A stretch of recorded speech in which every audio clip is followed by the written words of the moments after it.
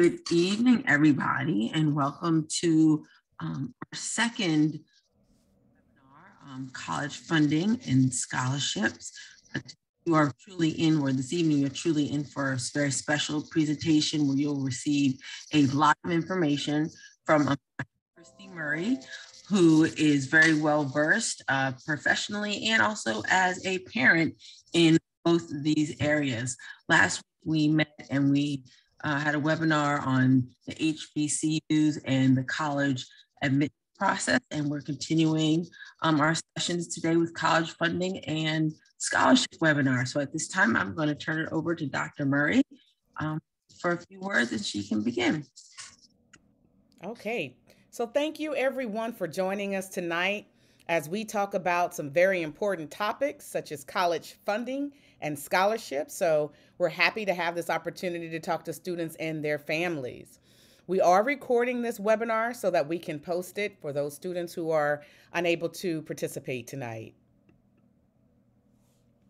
So some of the key objectives for our webinar tonight are to make sure that we take some time to equip students with practical college funding strategies, um, share useful strategies to search and apply for scholarships, and also discuss any other relevant uh, information that may pertain to COVID 19.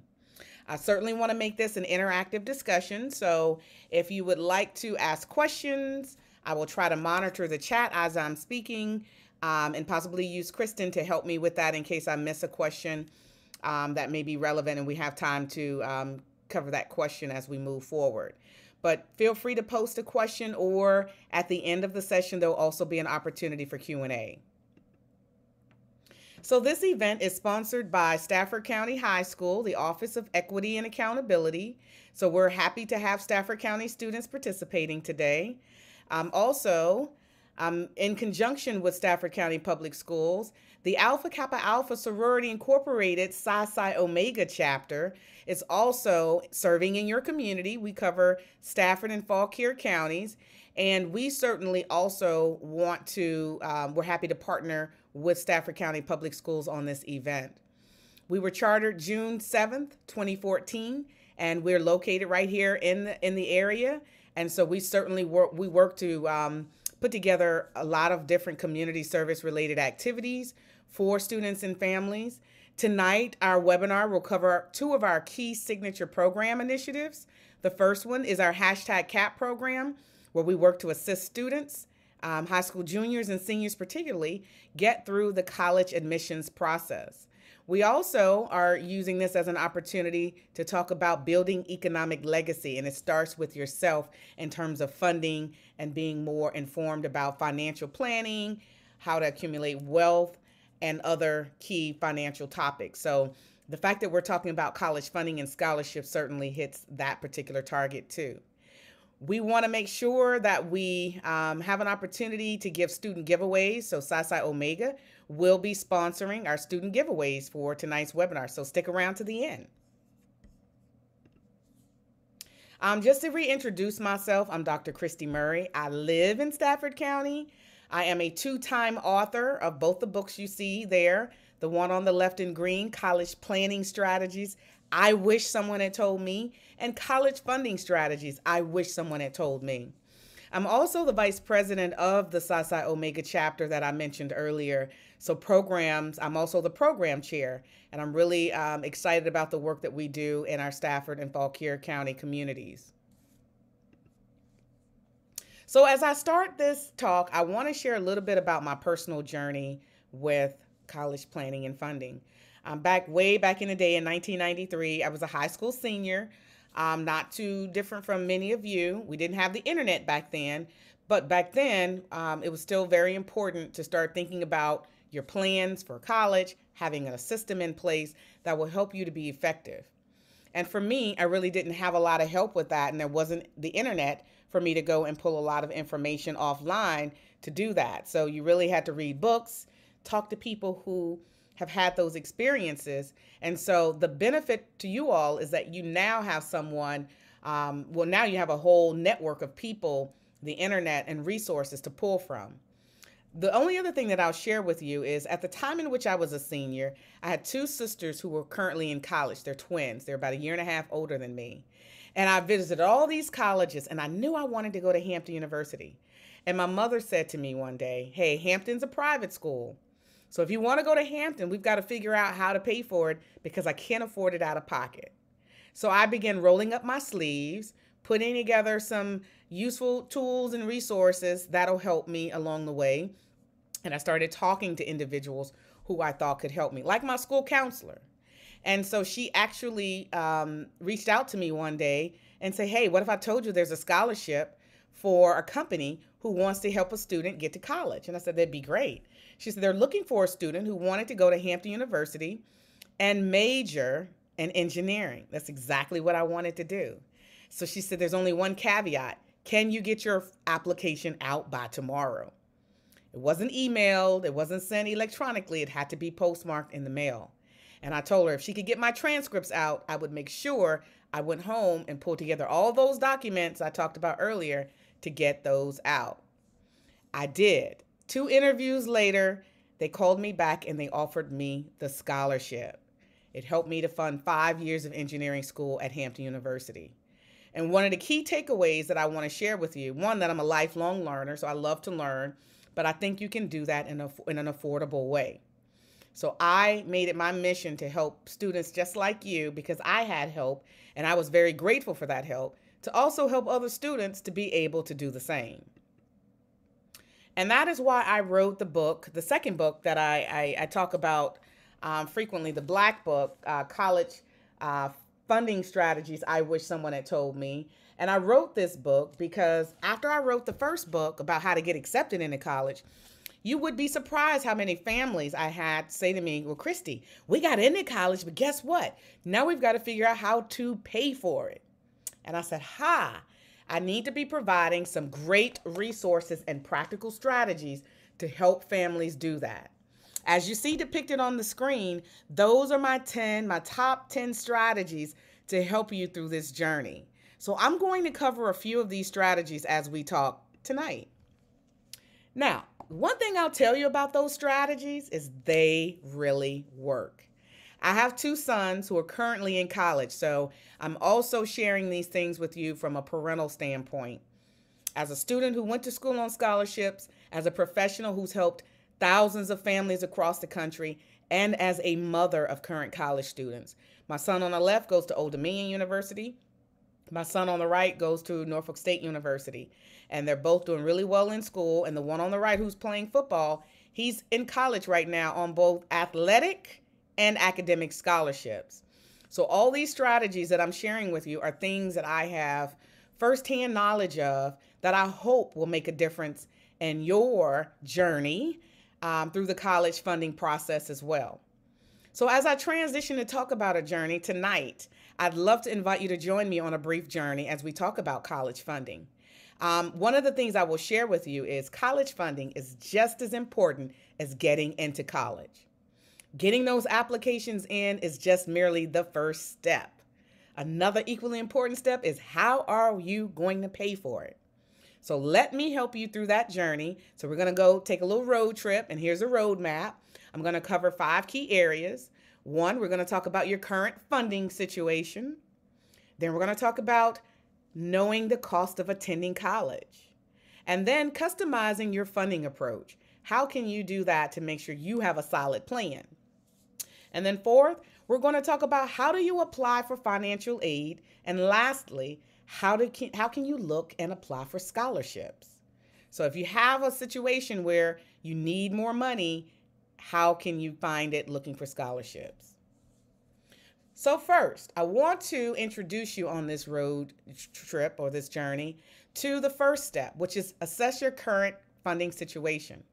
Um, one of the things you'll notice is in my book, here it is, I also put together a workbook. Here it is. You can't hardly see it with the background I have. There it is. But it's a student workbook to help you to be able to write out what those things are along your journey. And one of the tools in there is a template. You'll, you'll hear me refer to a whole lot of different templates that are in my book and my workbook. And it's designed this way to help you to be more deliberate about your planning. And if you notice in the bottom uh, left hand corner of the screen on several slides, you'll see the book name, the strategy number, and the page numbers. You can find that strategy in my book as a reference. But here's why this first step on assessing your current funding situation is important. Have you ever tried to take a trip and you use your GPS or your navigation system and it has no point of reference of where you were starting from? If you just say, hey, I want to go to Dillard's in Fredericksburg, and you don't, and it doesn't have the ability to say, hey, well, are you at home right now? Like, how can I? I need a baseline to determine where you're going to go next. This operates the same way. The first thing I advise families to do, both students and parents, is to think about what it is you're currently doing in terms of funding. If you're a student or a parent, do you know your GPA? What do you do in terms of a plan? What do you plan to major in if you're a student? What type of colleges are you thinking about as a student or parents are you as you're helping your students? Public school, private schools. Do you plan to live on campus or off campus? Campus. There's different financial realities to all of these questions. How much does it cost to attend college for 1 year, 4 years, or whatever your reality is? You should be thinking about these things. What is your parents' household income? How many students know their parents' household income? I hope the parents know, but if you don't know as a student, um, these are kind of some of the things that I want you to be thinking about. How much have you or your parents saved towards college? How, are you having those conversations with your parents about, hey, I'm getting close to college. What is our plan and approach to pay for it? And then how much have you budgeted your senior year for expenses? Cap and gown, prom, homecoming, college applications, um, housing fees, you name it, all those different realities that will hit you your senior year. It's okay right now if you don't have the answer to these questions. By the end of my webinar today, I hope that you will start to formulate a plan and to be able to answer these questions with a lot more confidence than you may be able to do right now. Um, if you could drop me in the chat, students and parents, let me know if you are a junior, senior, freshman, sophomore. What year are you in college or, excuse me, high school right now um, so that I can kind of gauge how I want to tailor the conversation today. So if we have the predominant number that are of participants and you know, 10th or 11th grade, then my conversation can be tailored more towards those who are in attendance. But one, as you're dropping that in the chat, thank you, Cassandra and others, um, I would encourage you to do so so I can make sure I help you. But I will tell you that most students in high school are in what I consider the late stage. Don't be alarmed by the terminology late, but it's in a later stage towards planning for college. And it's generally 8th through 12th graders. And that simply means somewhere between a year from now or less to five years, you're going to be gearing up to actually go to college. So it looks like we have some 11th graders, 12th graders, 10th graders. Great. Um, it looks like we have a good variety. So what that means by being in the late stage is that you need to be thinking about your income, saving some money, looking for scholarships and grants, making sure you understand financial aid. So the first step is know your current situation. Now, as you're moving along this journey and you know your current situation, I also think it's important for you to know the cost of attendance. Very important. In fact, you should be considering the cost of attendance when you're choosing a college, when you're choosing a major. You should always pick your major first, as we talked about in last week's webinar. And you should absolutely pick your college with the cost in mind. The cost of attendance, and you'll hear a lot of um, schools refer to this, and you'll even see it on your financial aid award letter. It's just simply how much it costs to go to college. It includes both direct cost, how much those those costs that are directly paid to the college or university, um, such as room and board and tuition fees, and it also includes indirect costs. These are costs that the school doesn't necessarily get, but they sure will come out of your pocket, like books, um, financial expenses like laundry, your cell phone, medical expenses, transportation. Um, those kind of things are usually more indirect, but they're still relevant and important as you matriculate in college. So, as you look at the cost of college, um, do know that the tuition rates tend to increase with inflation as we've seen over the years. Um, you know, there is a difference, um, even with COVID being our reality, and what some of those costs may be. Um, about a year ago or a year and a half ago, when many students were sent home for virtual learning, they reduced some of their costs because they didn't have the room and board uh, part of the, the fees to have to account for because they were online. Now that a lot of students are going back to the universities, they have to um, factor those costs in. And I also want to um, certainly remind each of you that some colleges are more expensive than others. Go where you can afford. As you can see from the US News um, clip that I provided, um, 2019 2020, the average tuition and fees looks very different. If you're going to a in-state public school, a public school, let's say in the state of Virginia, for example, it roughly costs 10K.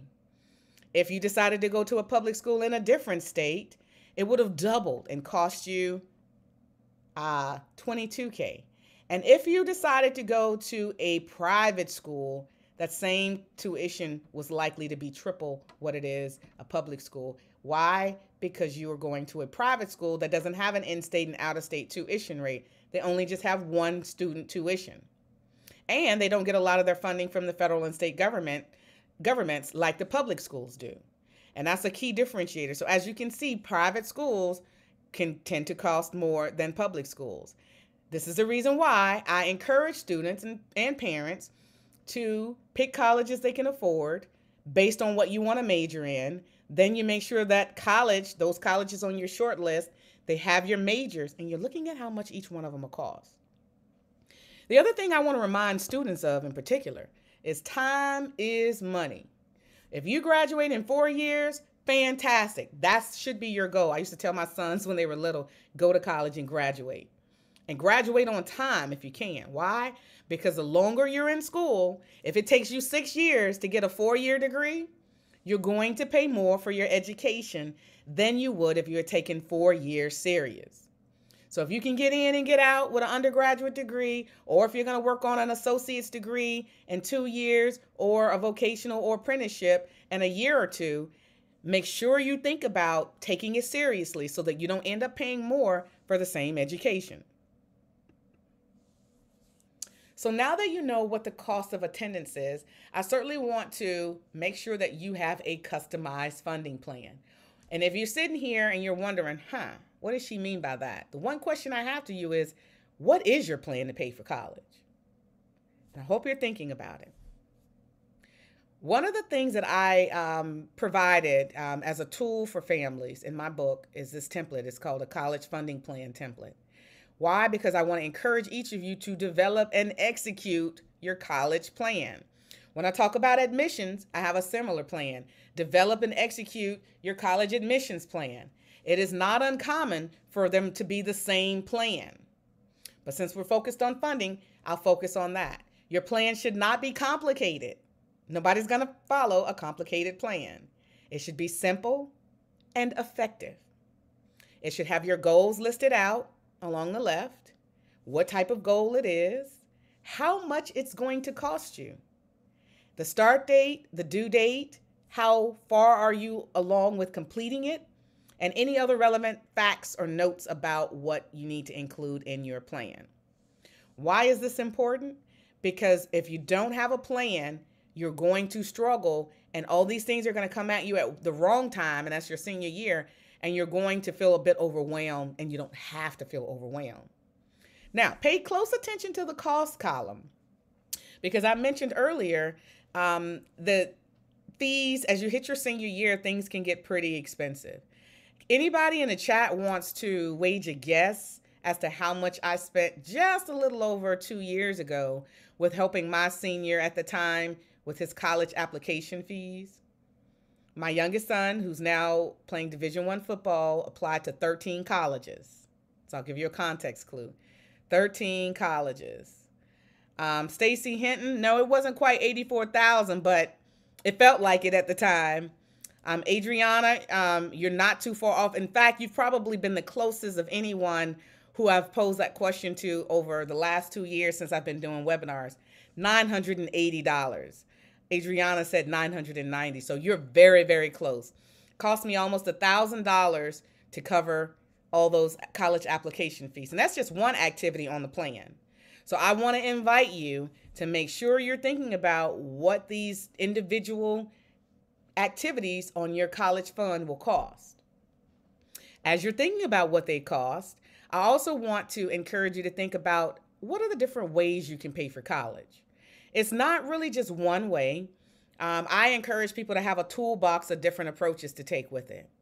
One way is to look at your household income or your household sources. Um, so, whether you're a parent, a guardian, or the student or scholar themselves, you want to be thinking about your out of pocket expenses.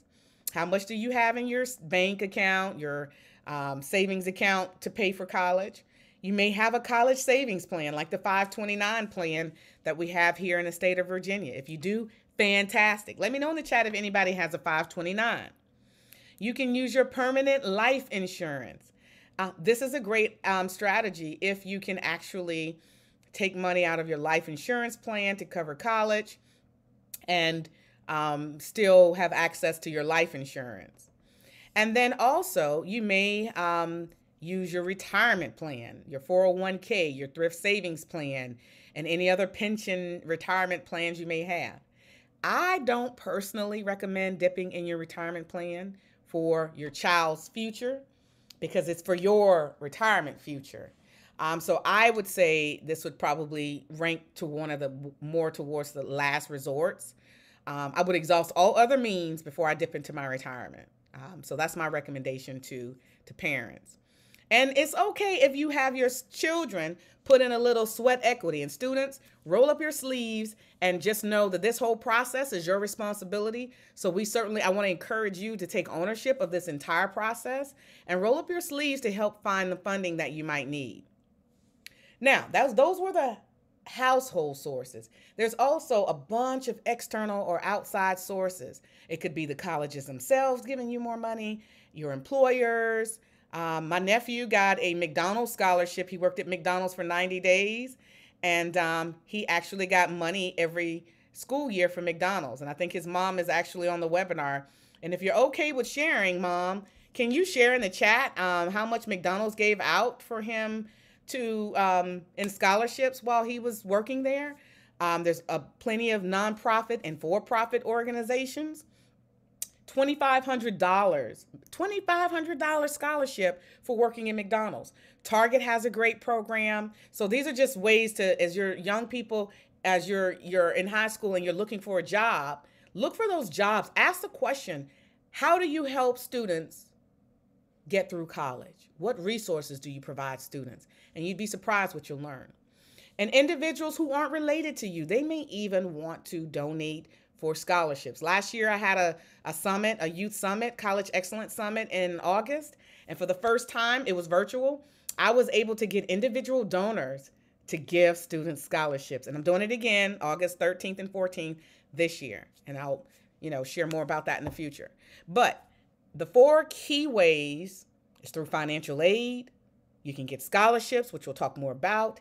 Grants, usually colleges, universities, the federal government, state government will have grant programs like the, right now, one of the grants that a lot of students are getting um, are the, um, the CARES Act grants, where they're giving college students credit or a grant due to COVID. But you have to currently be a college student to get access to some of those. And there's tons of other grants.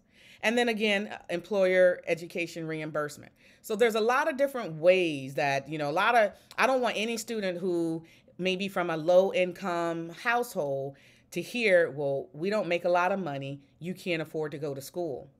Please don't let that be your reality. Whether you want to go to a vocational two year school, a community college, or a four year school, there is money for every circumstance. Please don't let anybody tell you that it's not, because it is. Now, as you think about paying for college, I want to break down financial aid in a bit more detail. Financial aid is simply money that's given to you to help you to pay for college, mostly coming from colleges and universities. Um, the federal government gives away over $120 billion a year to over 13 million students. Every year, 13 million people get financial aid from the federal government.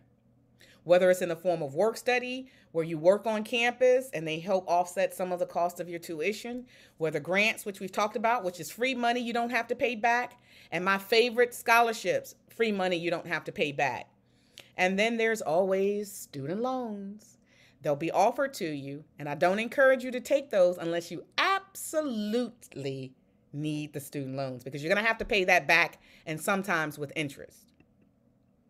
Now, according to the US Department of Education, there's 1.6 trillion people in the United States. No, excuse me, 1.6 trillion dollars that are currently owed in student loans. And there's 45 million people or borrowers who owe that 1.6 trillion dollars.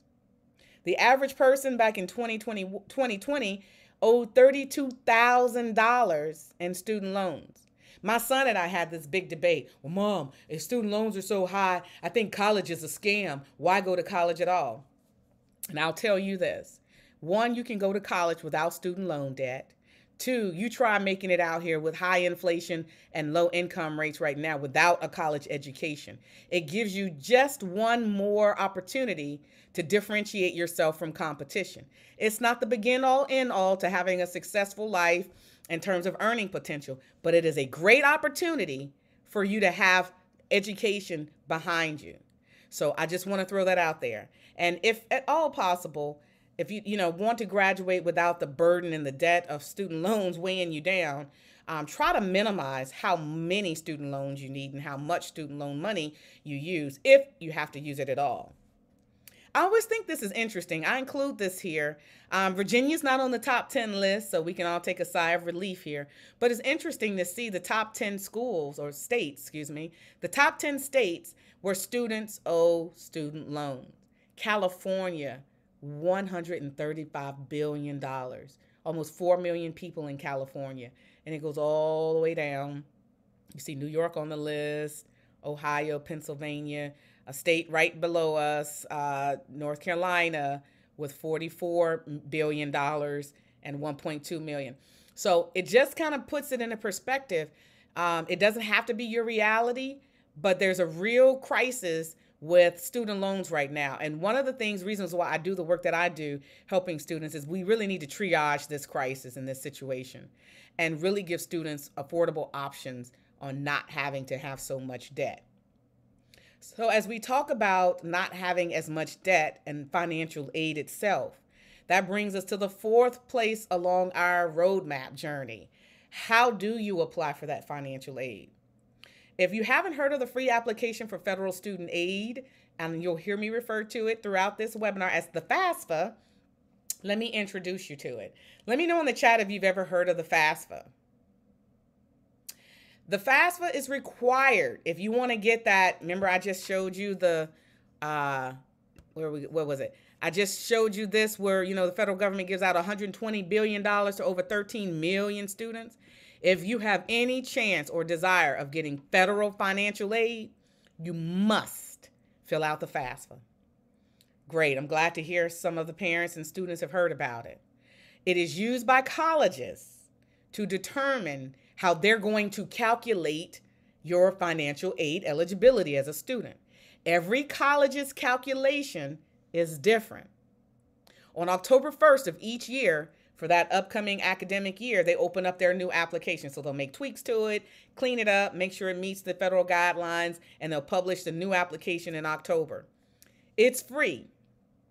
Even if you get a full scholarship or millions of dollars in scholarship funding, I have students say, "Do I really need to fill out the FAFSA?" Absolutely. There is no no situation that I don't recommend you filling out your FAFSA form. Even if your parents have a 529 or they have all your costs covered, fill it out anyway. Why? What happens if your circumstance change and you haven't? Always do the most so that you can give yourself the least amount of stress later on. Seniors, how many seniors do we have on the webinar who have not completed their fast, but you have started applying to colleges. I'm hoping that all my seniors have completed their FAFSA. Um, most colleges won't give you a penny until they see your FAFSA hit their radar. So when you're completing the FAFSA, you'll need to designate that college. There's a place, kind of like when you take the SAT or ACT test, it'll ask you which colleges do you want us to send your FAFSA to. Make sure all the colleges that you've applied to are receiving. You go into the system and you update your FAFSA. You may have to, if you, if you, I think there's a certain number. I want to say like eight to 10 colleges you can put in initially. And if you have to go back and add more colleges, like I had to do with my son, because he had 13 schools, then it'll let you. I waited a couple days. I went back in and I made some corrections and I switched out a couple of the schools and added the new schools in so that every one of his schools will have that FAFSA completed and sent to them. Here's something very important. I don't know if any parents have students currently in college like I do, or if you have siblings currently in college, but if you do, please remind them that every year that they're in college, they have to complete the FAFSA every single year. As a freshman in college, sophomore, junior, and senior if you plan on going on to graduate school. If you plan on graduating your senior year of college and saying, I'm taking a break, you don't have to do it the next year. But if you're planning to go to graduate school or medical school or law school, still complete the FAFSA and designate your colleges. I hope that helps. Um, the website is listed here, um, FAFSA.ed.gov. I would encourage you to have your documents in front of you, sit down with your parents, and have your tax forms. Your parents may need their W 2 statements, their bank statements, asset statements, whatever your financial uh, profile is, you want to have those documents. Um, as you're completing the FAFSA online, as you can see from the screenshot, um, both the students and the parents will need a FSA ID. Um, it's kind of like because when you're a student, you have to go in and fill out some things and sign. And then they also have um, parents or whoever's preparing it, they have to go in and sign some things. So you have to have an account and your student has to have an account. Um, parent, if you have multiple students in college like I do, I only needed one account um, for both of my students. But you're going to have to fill out the FAFSA for every child in your house every year while they're in college.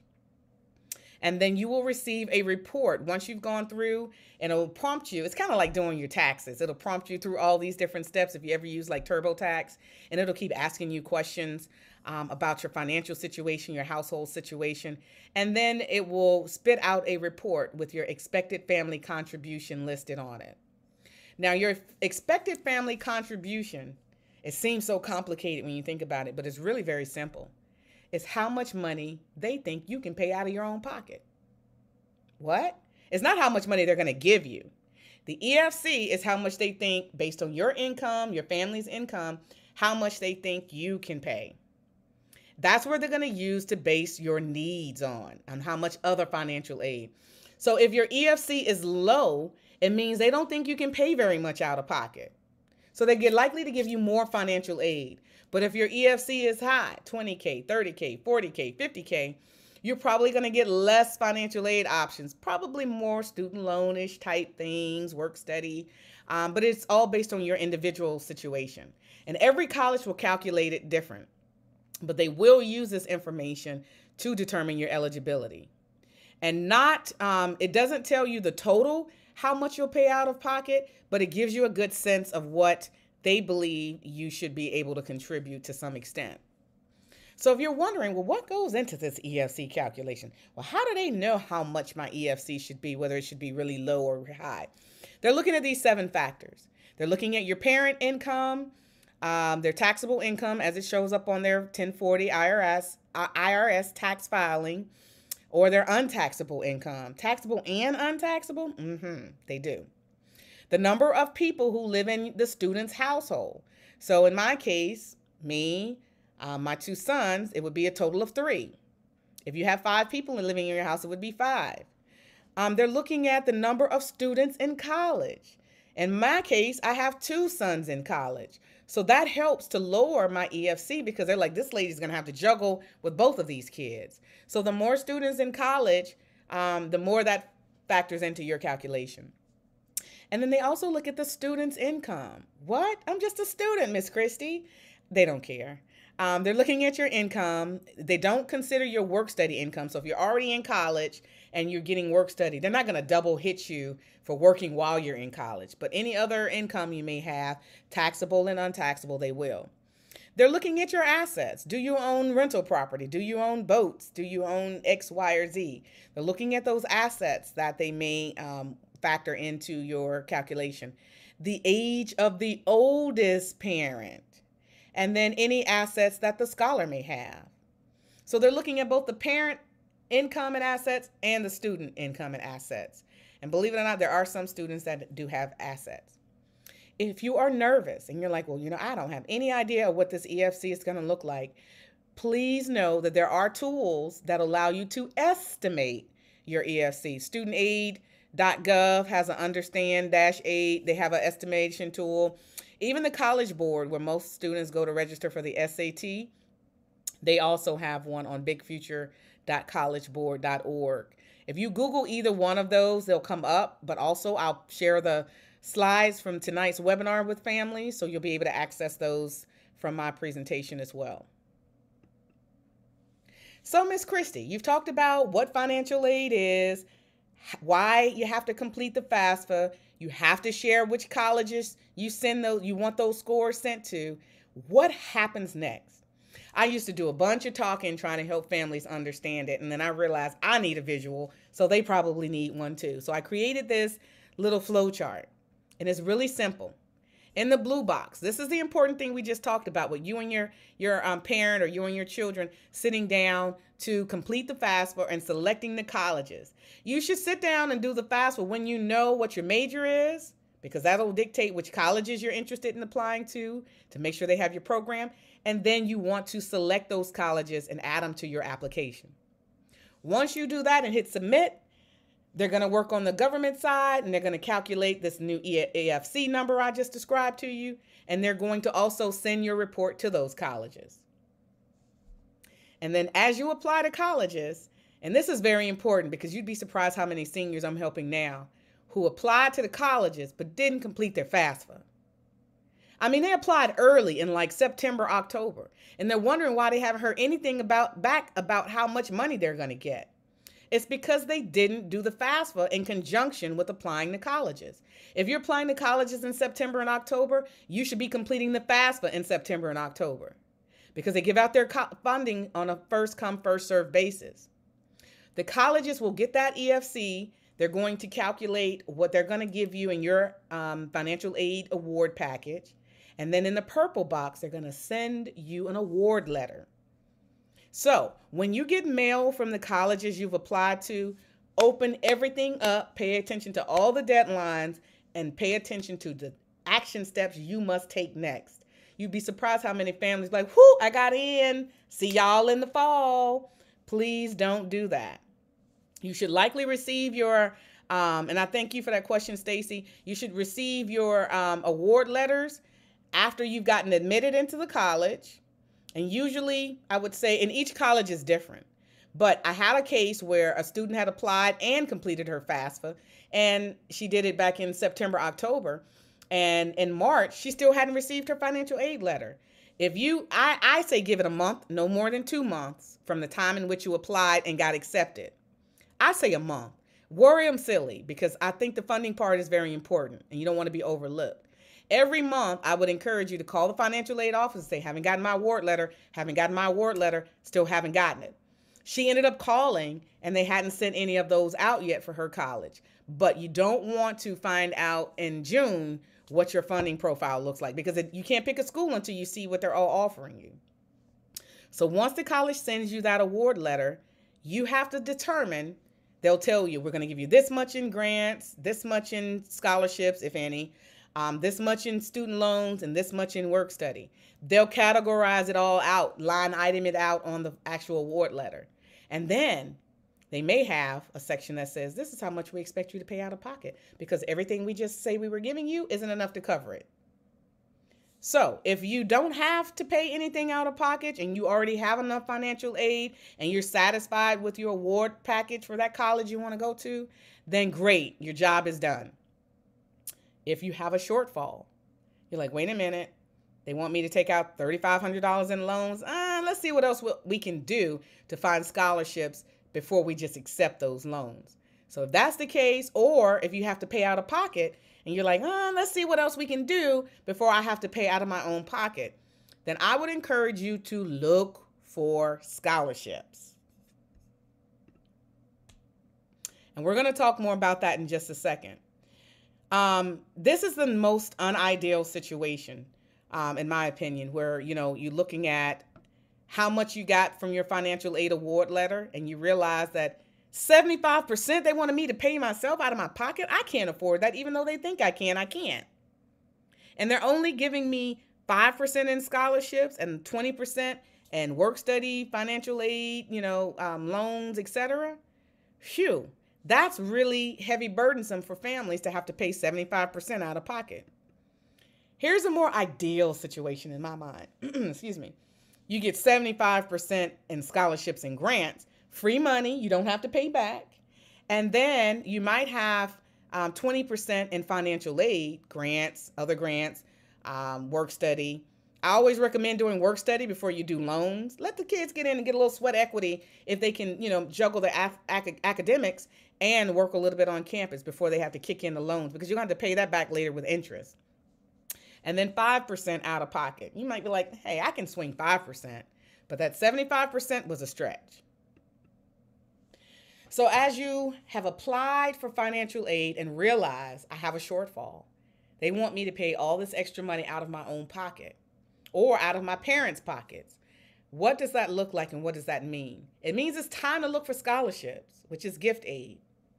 Have a plan for how you're going to approach looking for scholarships. This, I'm very passionate about this area um, in the webinar um, as I talk to families because most families don't want to take the time and the effort to look for them. There are so many different type of scholarships out here that it is unbelievable. And billions of dollars of scholarship money go unclaimed every year because students don't want to apply.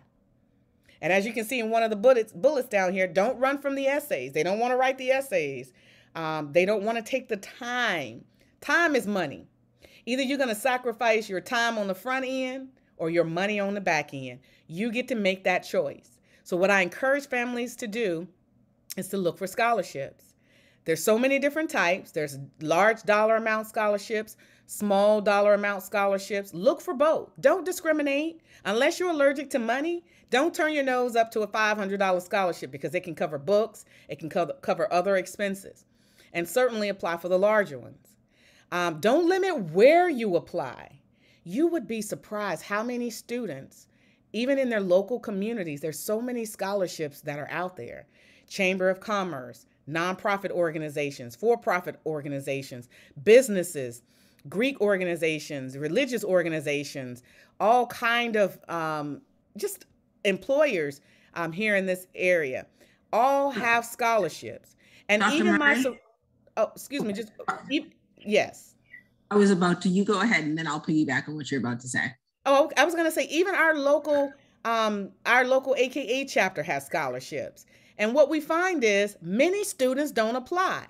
But here's a value in applying for local scholarships, and then I'll let Kristen share her point. The local scholarships have low application pools. If few people apply, what does that say about your odds and chances of getting awarded a scholarship if you meet the eligibility requirements? It's significant.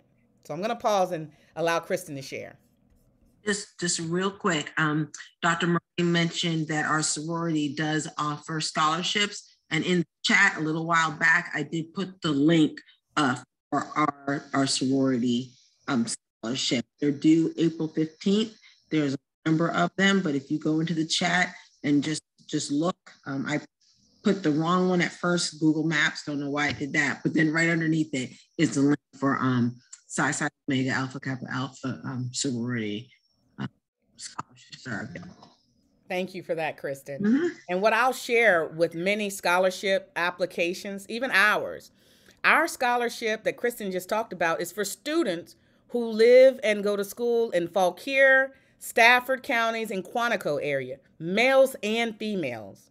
So males, we and I'll be honest, from my um, working with scholarships, the predominant of the applications are females. I don't know if males are allergic to money, but we certainly want to increase our pool of students overall and give everybody a fair shot to um, get awarded scholarships.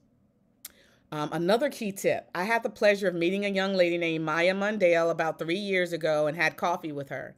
And I asked her, um, What did you do and how did you get awarded over a million dollars in scholarships? And one of the key things she said that was a differentiator for me is that she found a scholarship mentor. Hmm, that's different. Well, I said, well, what do you mean by a scholarship mentor? She said she went out to some of the um, scholarship uh, websites like the Target Scholarship, Coca Cola, Bill and Melinda Gates, you name it, all these different people who have these great um, foundations and scholarship um, followings. And they usually post the students' names and pictures of who was awarded their scholarships. So she reached out to a few and she found them on social media. So use those handheld devices on Snapchat and Twitter and Instagram and all that stuff. Use these things to your benefit. And she reached out to a few of them and said, Hey, I'm Maya. I'm interested in applying for scholarships. And I ran across, you know, this Bill and Melinda Gates scholarship. And I'd love to know what you did to differentiate yourself um, from the others, and congratulations on being a winner of their scholarship. Do you mind giving me some pointers and some advice? And guess what? They didn't mind. The closed mouths don't get fed. If you don't ask, you'll never know the answer to it. But talk to other um, scholarship recipients, even right here in, in Stafford County, who you know may have gotten scholarships. If you go to a, scholarship award ceremony and you've seen students at your school they have gotten scholarships, talk to them. Don't just look at them and admire them from a distance. Walk up on them and say, hey, great job.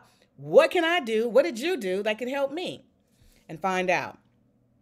And make sure that you um, read the instructions very carefully because every scholarship instruction is different.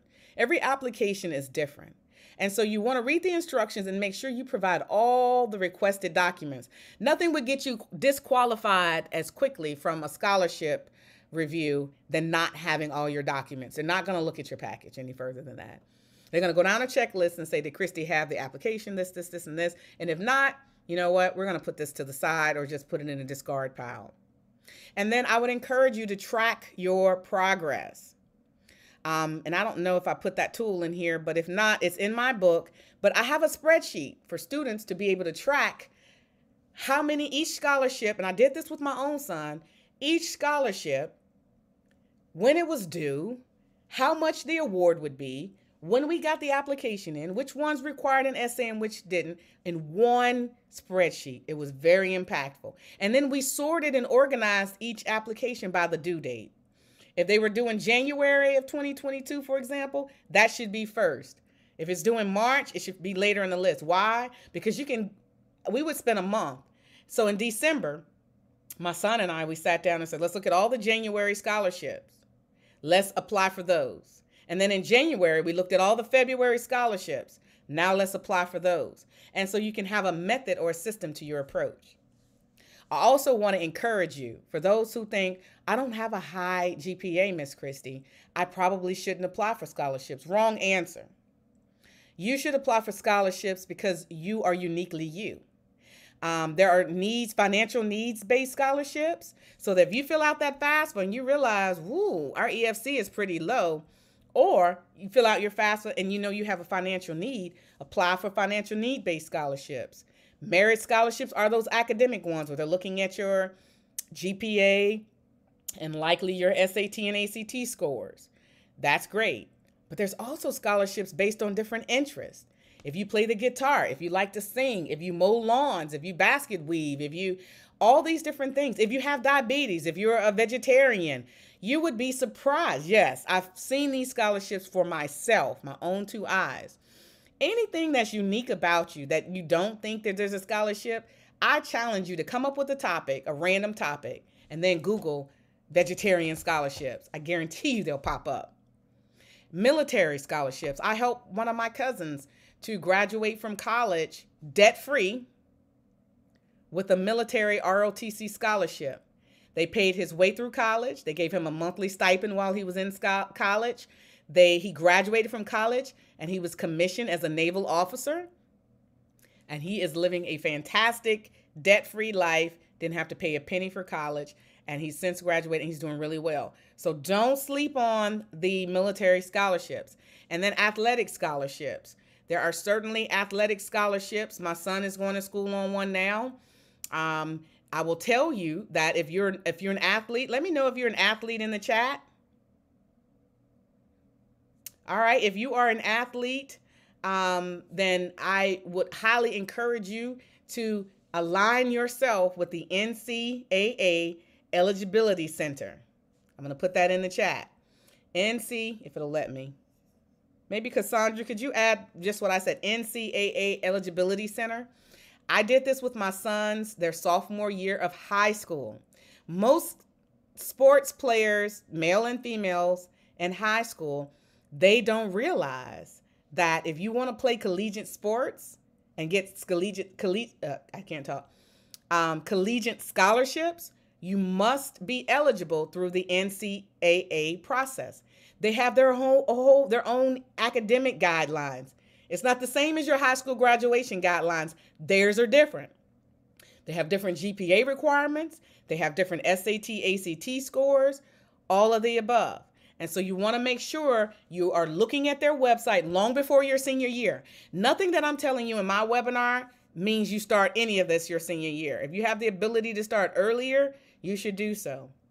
Um, Adriana asked, How long is the obligation for the military? It depends. Some obligations are two years, some are four. Some may not have an obligation at all, but you'll have to read that ROTC um, application They'll spell all that out when the student is looking at Air Force, Army, Navy, Marine Corps. They have different scholarship and ROTC programs. You have to look at it to determine what they're saying their obligation is. Um, for my cousin, his was four years with the Navy. And he's probably coming up on, I think he has like a year and a half left. It went really quick. And then he's deciding what he may want to do next from there. All right, here is one of the biggest questions I get from students and parents. Well, Miss Christie, I don't know where to find scholarships. And my question is, where have you looked? Because if you just simply go to Google, you're going to find a whole bunch of things. You're going to find things based on you wanting to go for STEM. Um, you maybe picked a STEM major. Maybe if you play sports, um, you'll find a bunch of religious organizations, nonprofits. We've talked about some of these things. If you're good in the arts, um, if you want to look for scholarships just by your major. Oh, I want to major in physics. Or I had some, I just posted some on a group that I'm in, and I'll share with you an exclusive group that I run. But it was for students interested in aerospace or becoming a pilot. So all these things are out there. Use Google to your advantage. I do. I did with my son. But here's my here's my challenge, and I'm gonna just say it like I'm thinking it. If you don't want to put in the effort, then just be willing to pull your money out of your pocket. If you're okay with doing some search, I had my son spend um, one day a week, spend 30 minutes a week looking for scholarships. Apply for five scholarships a week or five scholarships a day. Have a plan. That's why I say have a plan because it won't feel so overwhelming and burdensome if you have an approach that you want to take. Scholarships are everywhere. So don't tell me they can't say to Christie, we can't find scholarships because my question is that means you haven't really looked. Here are some other places where you can look to find scholarships. How many of you are leveraging your high school counseling offices? I know the Stafford County, we have several different Stafford County representatives on tonight. And I will tell you that they have a wealth of scholarships, local scholarships, those gems I talked about. So become best friends with your school counseling offices and find out. Um, my sons went to school in Prince William County, one county over. They did a phenomenal job of pushing out scholarships weekly. And so we were going down their list and applying for those local scholarships too, because they were looking for local students just like you. And they all had the same complaint. Not many students are applying. You be the ones to apply because you're going to increase your odds of getting those scholarships.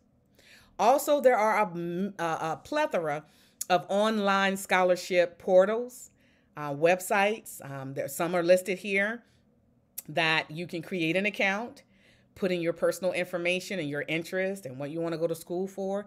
And they will provide you with a filtered list of scholarships that are designed for people who have the same interest as you. The eligibility fits your background. take advantage of those. And then there are a lot of organizations. Um, I'm in, I work in the oil and gas industry. The energy industry is giving out scholarships. The manufacturing industry is giving out scholarships. A lot of professional organizations, National Association of Engineers, National Association of Attorneys, whatever you want to major in, look for the professional National Association for those majors. Most of them have a philanthropic branch foundation, a means of giving out scholarships. They're looking for students who want to be in their profession. So please take advantage of all the wealth of information on scholarships. Um, as Kristen mentioned, we do have one. Um, the website is also listed here. We give out scholarships. We give out a leadership scholarship, Think HBCU scholarship. We even help students who don't want to go to a four year school. Every student doesn't want to go. But as I reminded you, there are scholarships even, not just with our sorority, but across the board for students who want to go to school for a vocation, a trade, an apprenticeship, or a community college as well. And if you are in school or you have family members in school, encourage them to keep applying for scholarships because there are continuing student scholarships all over the place. And then we have a scholarship for the arts. We certainly, one of our key program areas is um, helping students to um, be interested in the arts and promoting the arts. So we give out scholarships to help support what we find is important.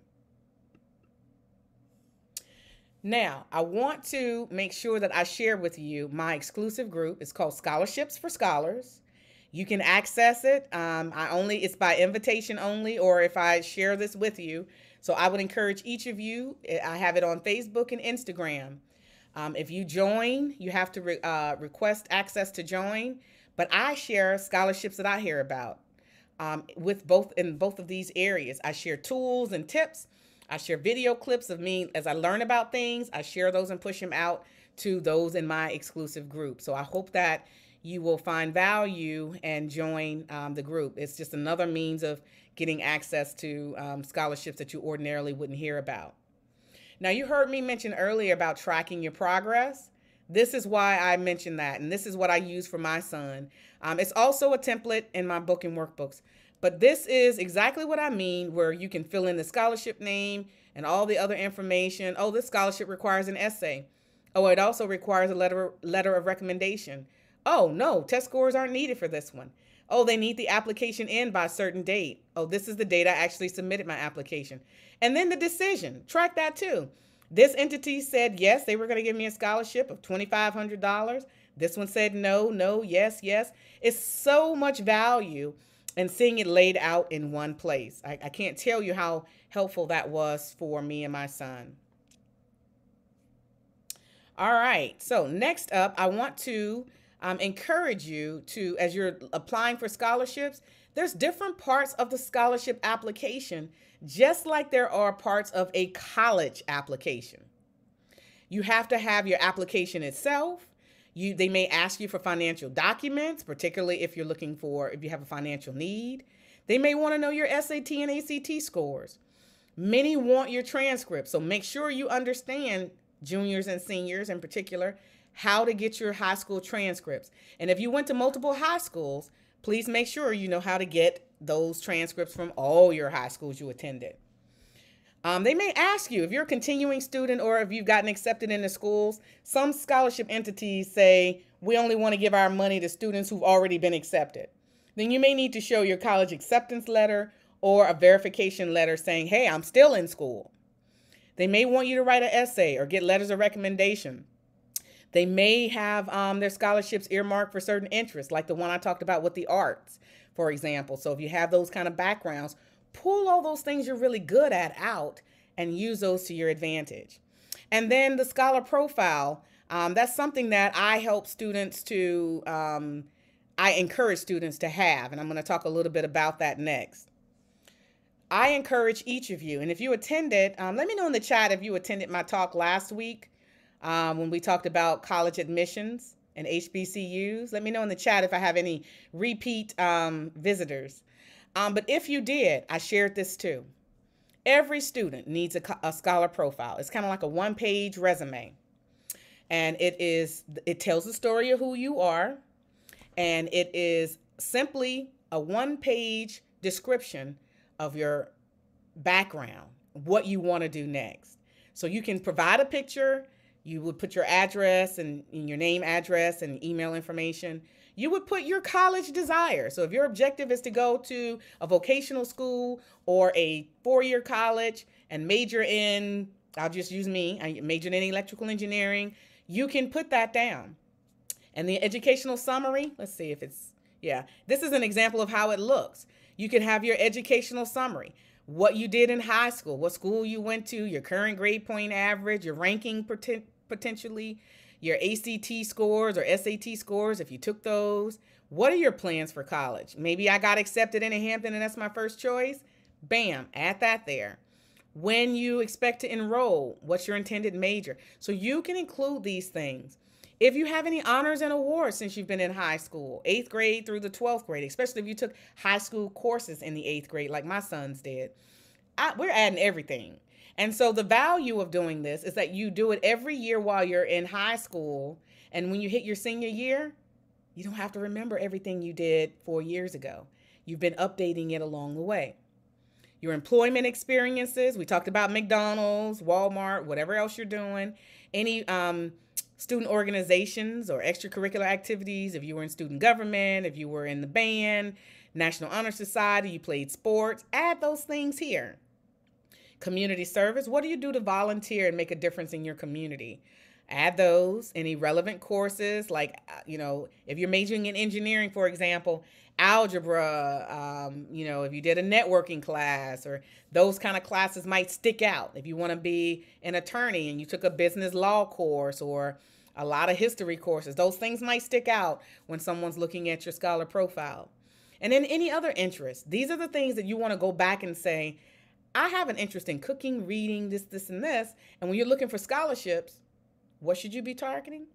There are scholarships out there for people who like to read there's scholarships out there for people who like to cook. So this is the value of putting it all in one place.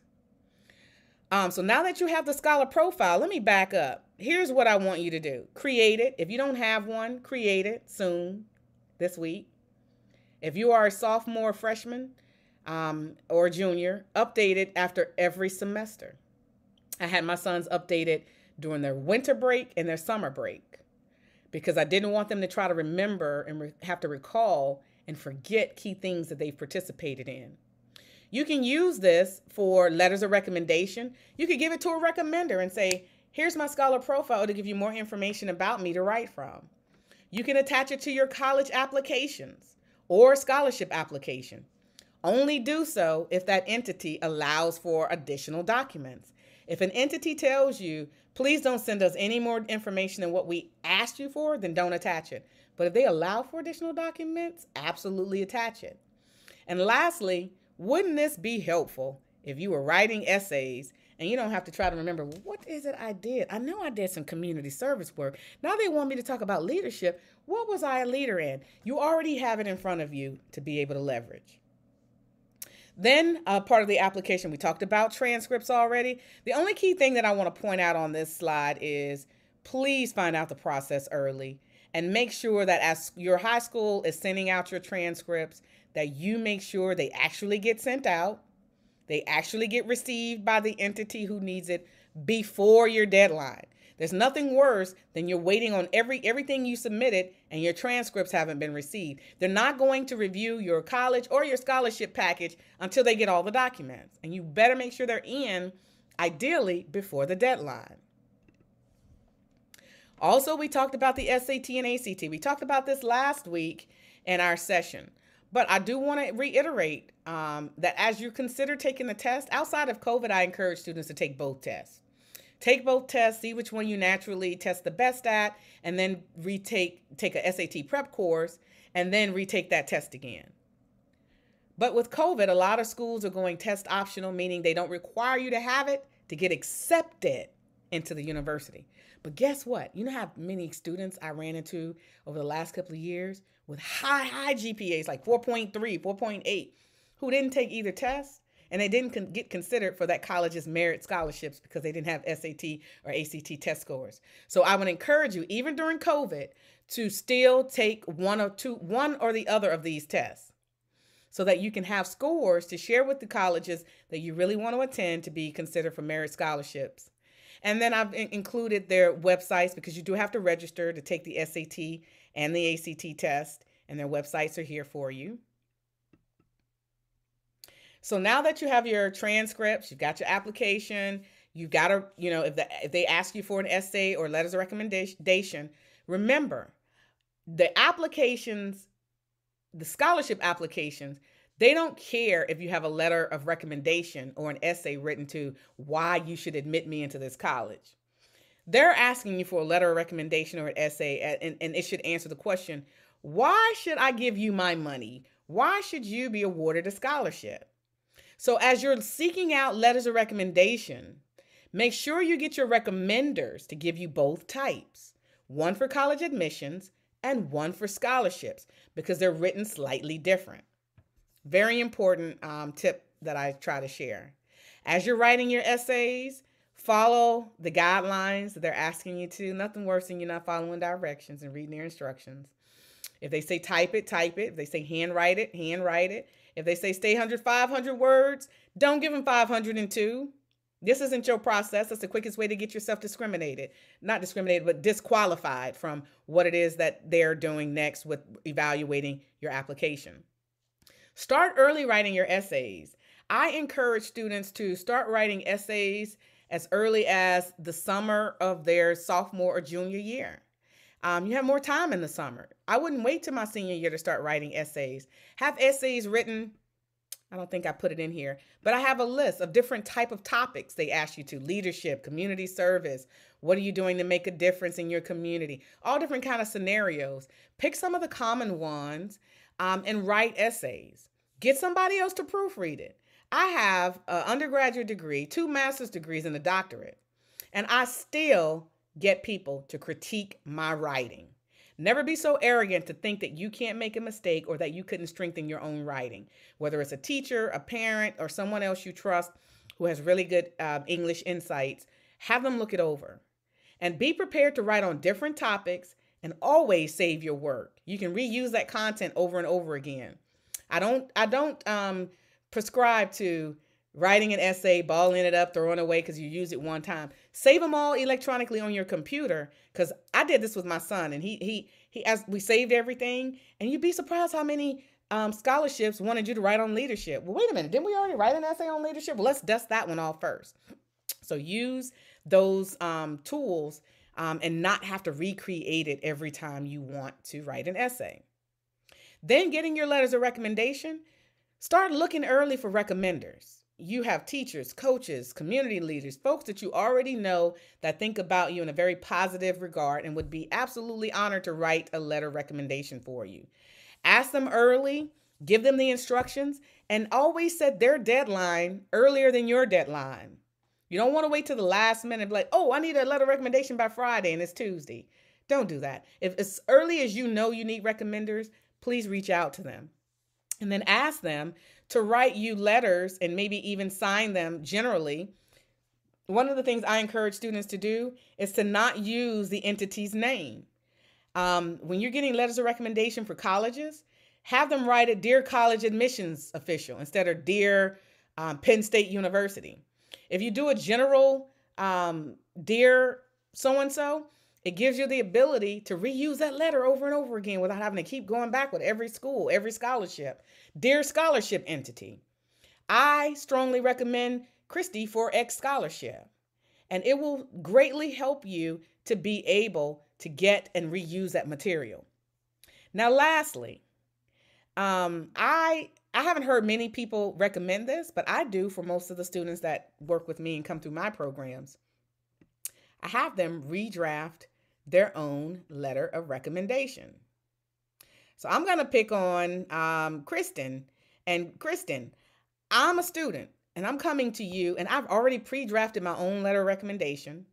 I have my scholar profile, and I need you as my English 11 teacher to write me a letter of recommendation. Here's how that conversation will go, students. And then, Kristen, when I'm done making my request to you, I want you to let me know if you would be more willing to write a letter of recommendation. Hi, Miss Kristen. You remember me? I'm Christy. I'm from your English 10, 11, English 11 class. And I'm now at a point where I'm applying to colleges and for scholarships. I would be honored if you would be one of my letter, write a letter recommendation for me. Here is my scholar profile, my one page resume, my scholar profile, and a pre drafted letter, um, letter of recommendation for you to consider. And it looks something like this. And um, I would love it and be honored if you could tailor this letter based on what you learned from me in my scholar profile. And um, I'm happy to send it to you electronically for you to tailor it and send me back a letter that represents how you view me. Now, Miss Kristen, if you can come off mute and let me know, would you be willing to write a letter for a student like that? Yes, I would. I would be very willing to uh, write a letter of recommendation because you have given me all the information, and I wouldn't have. It would be um, a lot easier for me to write it and less time consuming because I have that information right there. Excellent. To draft something from memory. Thank you.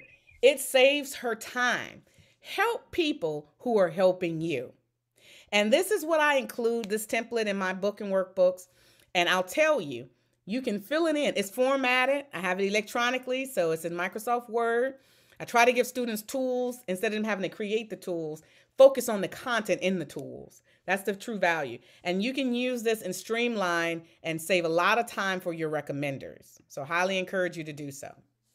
So as we're coming to, toward the end of our um, college funding talk, I would highly encourage you to think about your journey. And as you are going through the process, you should be selecting your major, applying for those college to those colleges, completing the FAFSA, applying for scholarships. There's all kind of scholarships out that we've talked about. There's plenty of scholarships for all kinds of students, minority scholarships, um, you name the different type of scholarships. But there are plenty of individuals who really want to support students um, going to school, um, high school students and continuing students. Make sure that if you don't like what you see in your financial aid award letter from that college, once you've gotten your FAFSA in and they send you back the award letter, appeal it. How many of you know that you can appeal a financial aid award letter? What? Yes, you can. And here's what I mean by that. You might have a difference in your income now than you did when you completed it. There may be other extenuating circumstances that aren't taking into consideration. Good, Adriana. I'm glad. I'm glad you knew that. Um, I'm encouraged by that. Um, so you want to know how do I do that? What I encourage you to do, if you ever feel like, you know what, they're crazy if they think this is all that I can, you know, I can pay this much. This is my situation. Things have changed or they look different than what they think. Let me appeal it. The first thing I would encourage you to do is call the financial aid department and ask them what their appeal process is. They may say write a letter or fill out a form. It's different from each for each school. And so you certainly want to um, give them that opportunity to tell you their process select um and, and, and once you've applied to colleges and you've gotten your award letter you've gotten the appeal stuff straightened out compare all of your financial aid award letters then you select the college you want to attend you want to factor in your selected college based on who's going to save you the most money you don't have to pay as much out of pocket or get student loans and then you make a decision then you accept their financial aid award and then you start paying those enrollment fees housing deposits some of those things that are on your college plan that we've been talking about that you have to be mindful of. So, as my last um, official slide, I'm just going to abbreviate and say don't let the funding part of the college planning process be an afterthought. Sit down as a family and talk about what that means to you and put together a winning system. I did that with my sons, and it was not um, overwhelming, and it doesn't have to be. Look for scholarships until you graduate. No, not from high school, but from college. I have so many students say, Well, Miss Christie, well, how long should I look for scholarships? Unless you're allergic to money and you have it all covered, I would invite you to look for scholarships the whole time you're in college. Track your process and get organized. If you are a sophomore, junior, senior, it's not too early to get organized. Get a folder system, a hard copy folder system, and an electronic one. Save all your username and passwords in a place that you and your student can access them. My son and I, we did that and it saved us a lot of time and energy. Don't just rely on the students to have it, parents have it too. And create a separate email account just for your college planning and funding endeavors. Most teenagers I know aren't checking emails daily. And I was afraid that my sons would miss key deadlines because a lot of these entities, colleges and scholarships, they were sending things for action in email. And if you're not checking every day, you're going to miss those unique opportunities to make sure that you get those actions in by their deadlines. Don't waste people's time and please learn how to say thank you because there are going to be many people that are going to help you throughout this process. We do have upcoming webinars. As I um, bring my talk to a close and take any final questions, I want to remind you all that we have a Spanish version of tonight's webinar tomorrow. So if you have Spanish speaking friends who you think could benefit, please encourage them to participate. Same time tomorrow night at 6:30. Also, our AKA chapter, we have a whole initiative around helping students. So if you need help with um, our hashtag CAP program, we're offering webinars on the SAT, ACT prep coming up in April and May. Also, we have HBCU and PWI college um, admissions panel coming up in June, and we're helping students over the summer with essays and writing, getting letters of recommendation. And the website, if you want to sign up for any of those events, is listing here, listed up at the top, and I'll share these slides with everyone. Um, so now I am going to pause and we're going to have some student giveaways. I'm going to ask three questions from my webinar tonight, and um, you'll have a chance to win copies of my college planning strategies book and workbook. I'm trying to get them both in this frame, frame book and workbook. And we're going to do three student giveaways. So the first student giveaway is going to be based off of the question what does the FAFSA stand for? Anybody remember?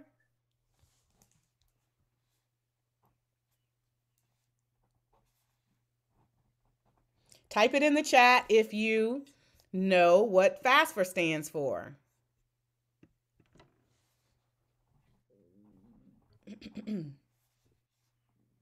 Anybody? Anybody? Y'all got Google. Come on. All right, All thank right. you, Elaine. Elaine. Elaine. Excellent. Elaine, we need your last name. And if you could DM um, Miss Kristen and share um, with her your um, contact information so we can mail the book to you, that would be great. Don't do it in the the everyone. Do it in a direct message so that you're not putting your um, information out to everyone. Actually, Free what application. Do, what I'm going to do is I'm putting my email address in the chat and you can just email me your information. Even better. So all the all the winners email Miss Kristen your contact information. It stands mm-hmm. for the free application for federal student aid. Thank you. Okay. That's one. All right. The second giveaway. Who can name one type of scholarship that you can apply for? And it's not a particular entity, but the categories. I listed several categories of scholarships. Who can name one? Adri- Adriana. Yeah, Snipes Fields. Excellent, Adriana. You were quick. You were quick on that. she was a wildcat. All right, merit based, needs based, merit based, athletic. Um, there were interest based, military, and so many, many more. But thank you very much, Adriana. Adriana, email me your information and I will will get that to Dr. Murray and make sure you get your prize. Excellent. And then the last question Who can name one of the Psi Psi Omega chapter categories of scholarships that I highlighted?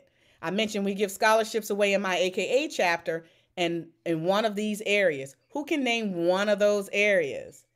Leadership. Okay, Adriana, you're right. So no one else can use leadership, but Adriana, we're going to give a third person a chance to win. But Adriana was right with leadership, so now the third person can't use leadership. What's another category? Good, K Brown. K Brown, HBCU, yes. Again, All right. K Brown, please can send you put your, information. Kay Brown, can you put your full name in the chat? We don't know um, what the K stands for. Keena, wonderful. Nice to Um, meet you, Keena.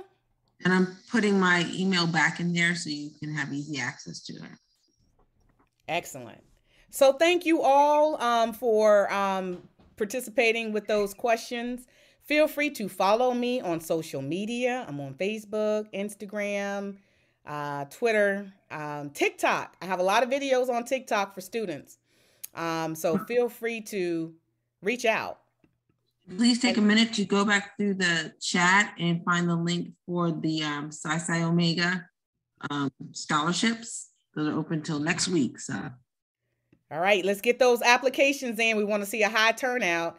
And if you're a family and you would still like to get access to both the books or workbooks, I would highly encourage you to visit me at www.investnothers.com.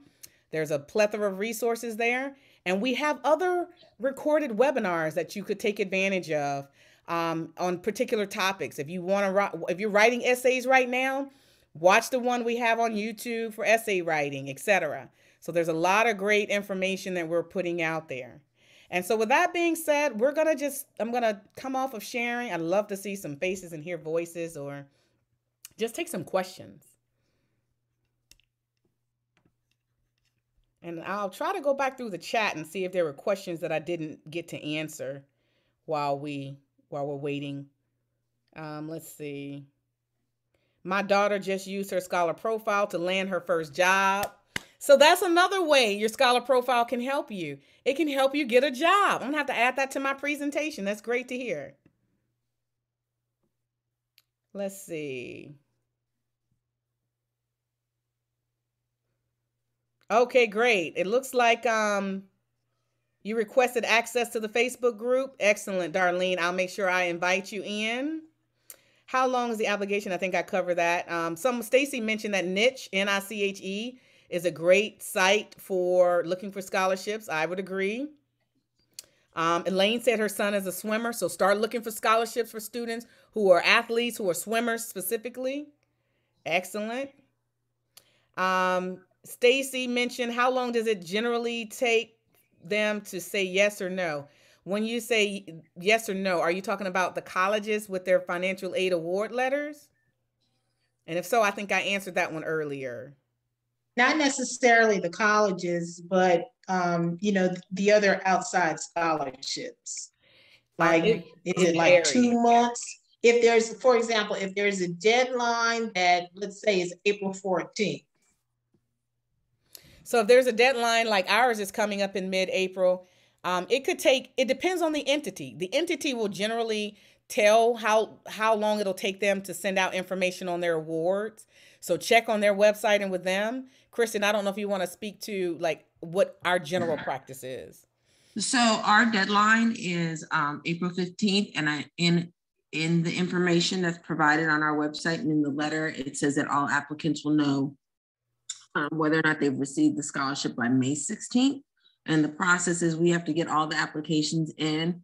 Um, they're either emailed back to me and then I disseminate it to the committee, or they are um, mailed, like snail mailed, and then someone has to go to the mailbox and pick them and pick them up.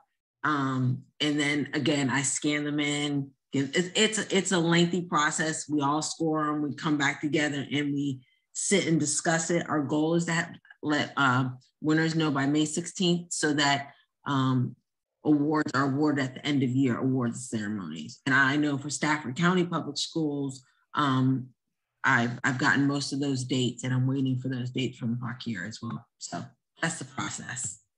I also, I'd also like to advocate for the organizational scholarships because my daughter did get one from Alpha Kappa Alpha, um, and it paid for two years of her to attend a technical college. So That's thank excellent. you. Thank you. We'd like to hear those uh, testimonials because these strategies work and the information, you know, a lot of organizations are doing to help students in the communities. They're they're out in the communities trying to help. So definitely take advantage of them. Um, last question Yes, will Just to probably give a, a, a quick plug, um, for all our Divine Nine groups, Delta Sigma Theta, Omega Psi Phi, Kappa Alpha Psi, uh, Alpha Phi Alpha, Zeta Phi Beta, Phi Beta Sigma, Iota Phi Theta. Who am I missing? Sigma Gamma, Sigma Rho. Gamma Rho. And then, of course, um, the the first um, African American sorority, Alpha Kappa Alpha, our sorority, they all offer scholarships. So if you want to Google the Divine Nine, they will all offer. Yes. Yes. And they And- all and have yes- local they all have local presences here in our community. So great odds of getting those scholarships. Yes. And I I do also want to found that that you don't have to be, um, for example, you don't have to be a female uh, to apply for, um, you know, of uh, sorority or vice versa. Now there and, and that's why reading the scholarship, we often disqualify ourselves before we qualify ourselves. That's why reading the instructions and the eligibility is so critical for every scholarship because we make assumptions and we need not. Unless the scholarship eligibility requirement says you can't, we only want females or we only want males, it might be generally open to everybody. So I think that's a great point, Stacy, that you made.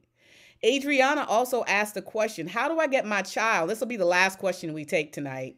How do I get my child to get these essays done and apply for scholarships? Let me just say, I'm going to share with you how I did mine. Some students are more self motivated than others. So if you have those self motivated students and you don't really have to nudge them, gently nudge them, fantastic. But if you do, like I did with one of my sons, one or two things. When he got on my nerves, or I use it as a positive form of punishment. Most of my punishments for my children were things that were designed to help them in the future. So if he got on my nerves, I would say, you know what? Please go take a break. And while you go take a break, go to your room for a bit and come back with five scholarships you can apply for. Or go take a break. You know what? You got this essay that needs to be in by Psi Omega's deadline next week. Why don't you go spend 30 minutes and write an essay and bring it back and let me take a look at it? So you have to find creative ways to encourage them. Sometimes they might not be initiated on their own, but um, they have to get done. Now, my son would draft his essay and I would review it and I would send him back and tweak it. We would have that process. And then the more he learned to write, the more confidence he gained. Sometimes the students may not, they lack confidence in their writing skills. So if you can find a way to understand why, what is their apprehension about writing and how can I help them overcome that apprehension? Maybe pair them up with a friend or a student who's really good at writing. Some, some way to kind of help them gain more confidence might help too. So those are just my my my strategies. All right. Well, we have approached the end of our session tonight. I hope that all the parents and students who attended found value and the strategies and tips that we're sharing on college funding and scholarships. We thank you for your time tonight and we wish you well in your endeavors. I will email the slides to everyone so that you can have them for you. Kristen, I'll give you any last thoughts and wishes. Okay. Thank you everyone for joining us tonight. Again, another great session, Dr. Murray. I always enjoy um, listening to you um, as a special treat. Um, my husband actually sat in and got a lot of information too. So he was um, hyperly excited to receive this information. And so um, I just want to remind you, if you're one of the three winners from tonight, please make sure you email me your information because I won't be able to retrieve this chat information. So email me at K McKinney, M-C-K-I-N-N-E-Y at staffordschools.net. Um, again, Dr. Murray, thank you. I have a junior, rising senior, who, like I said, we were taking lots of notes. Excellent. And the fact that your husband was watching an hour and a half webinar and he was excited um, speaks to what I hope is the value and the information we're presenting. Because to spend an hour and a half with me and to be charged up in any way or any remote way is really good. And so I wish everyone much success in their endeavors. And don't hesitate to reach out to us if there's anything we can do to answer any additional questions you have. Thank you all and good night. Good night, everybody. Thank you. Good night.